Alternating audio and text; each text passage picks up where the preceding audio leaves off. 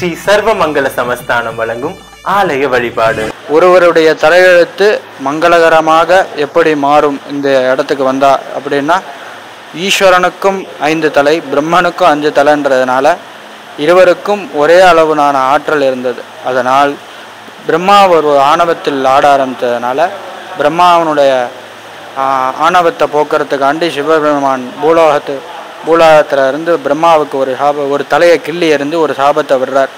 படைப்பாற்றலை இழந்திடவாயின்னு ஒரு சாபம் விடுறார். இந்த படைப்பாற்றலை இழந்ததுனால பிரம்மா தன்னுடைய தவறை உணர்ந்து பூலோகத்தில் திருப்பிடவூர்னு இருந்த ஊர் தான் இப்போ திருப்பட்டூர்னு மாதிரி இருக்குது இந்த இடத்துல வந்து பன்னெண்டு சிவலிங்க துவாதச லிங்கத்தை பிரதிஷ்டை பண்ணி வழிபட்டதுனால இந்த கோவிலில் வந்து பிரம்மாவுடைய கோ பிரம்மா கோவிலில் பன்னெண்டு சிவலிங்கம் தனித்தனி சன்னதியாக இருக்குது அதனால் உள்ளே நீங்கள் வந்தீங்கன்னா பன்னெண்டு சிவலிங்கம் தனித்தனி சன்னதியாக பார்க்கலாம்.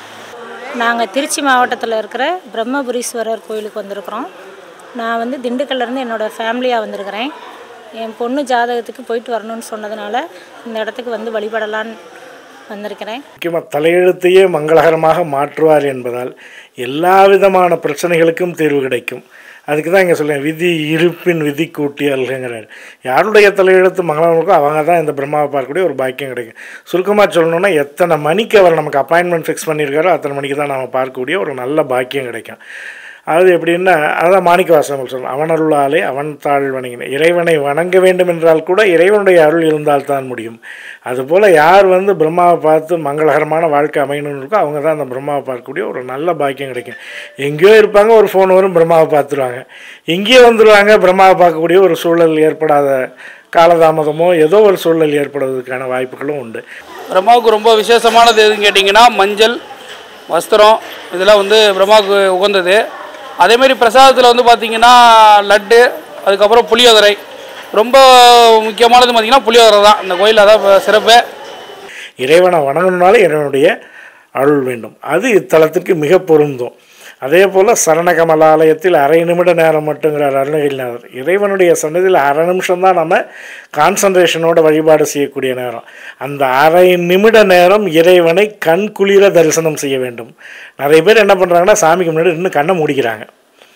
கண்ணை திறந்து பார்க்கணும். கண்ணை திறந்தால் சுவாமி தரிசனம் கிடைக்கும். கண்ணை மூடினால் அதுக்கு பேர் தியானம். தியானங்கிறது தனியாக ஒரு இடத்துல உட்காந்து செய்ய வேண்டியது. சுவாமிக்கு முன்னாடி நின்று செய்ய வேண்டியது நன்றாக அழகாக கண்ணை திறந்து பார்க்கணும். அந்த சரண கமலாலயத்தில் அரை நிமிடம். வெறும் முப்பது செகண்டு தான். அந்த முப்பது செகண்டு ஐந்து மணி நேரம் காத்திருந்தாலும் அந்த அரை நிமிஷம்தான் ஐநூறு கிலோமீட்டர் தொலைவில் இருந்து வந்தாலும் அந்த அரை நிமிஷம்தான் அதனால் அந்த அரை நிமிஷத்தை மிஸ் பண்ணாமல் கண் குளிர தரிசனம் செய்தாலே போதும். நமக்கு வேண்டியதை கொடுக்க இறைவன் காத்திருக்கிறான். அதே போல் யாருடைய தலையெழுத்து மங்களகரமாக மாறும்?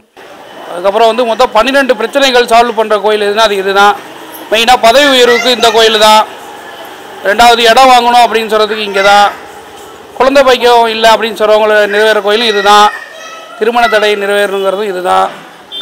வாழ்க்கையில் வந்து எவ்வளோ கீழே இருந்தாலும் நல்ல நிலைமைக்கு வேலை வரணும் அப்படிங்கிற இது பண்ணுறது இந்த கோயில் தான் யார் ஒருவர் நான்கிற அகங்காரத்தை விட்டொழித்து உள்ளே நுழைகிறோ அவர்களுடைய தலையெழுத்து மங்களகரமாக மாறும். அது எப்படி? எல்லா கோவில்லையும் இருக்கிறது தான் உள்ளே நுழையும் போது பார்த்திங்கன்னா ஓங்கி உயர்ந்த கொடிமரம் இருக்கும்.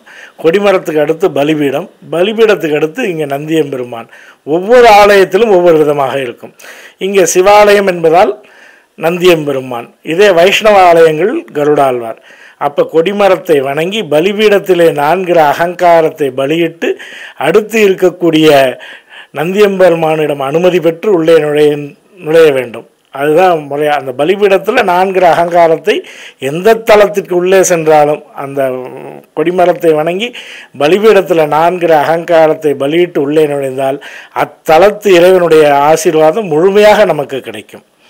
ஆசீர்வாதம் மட்டுமல்ல நமக்கு வேண்டியதை வேண்டியவரை கொடுக்கக்கூடிய இறையருள் பரிபூரணமாக கிடைக்கும். நல்ல ஒரு அற்புதமான பலன் கொடுப்பாங்கன்னு சொல்கிறாங்க நாங்கள் இந்த கோயிலுக்கு முதல் முறையில் தனியாக வந்திருந்தேன். இந்த வாட்டி என்னுடைய குடும்பத்தாரோடு வந்து வேண்டுதல் வச்சுருக்கிறேன். பிரம்மபுரீஸ்வரர் கட்டாயம் எல்லாருக்கும் நல்லபடியாக அருள் புரிவார்னு நம்புறேன் தலத்தில் பிரம்மன் பிரம்ம சம்பத் கௌரி பிரம்மனுடைய சம்பத்தாகிய படைப்பாற்றலை திரும்ப வழங்குவதற்கு ஈசனிடம் பரிந்துரை செய்ததால் பிரம்ம சம்பத் கௌரி என்ற பெயர் உண்டு இங்கே. அதுபோல் இங்கே பதஞ்சலி முனிவருடைய சன்னதியும் தனியே உள்ளது.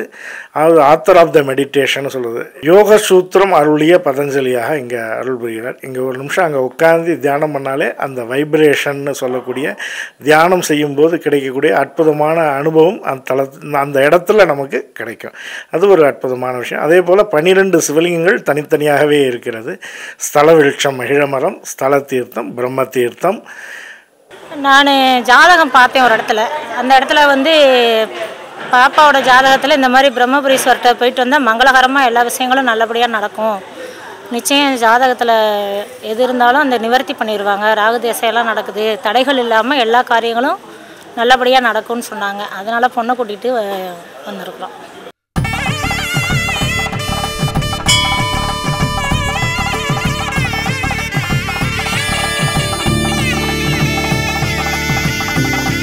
ஸ்ரீ சர்வமங்கல சமஸ்தானம் வழங்கும் ஆலய வழிபாடு.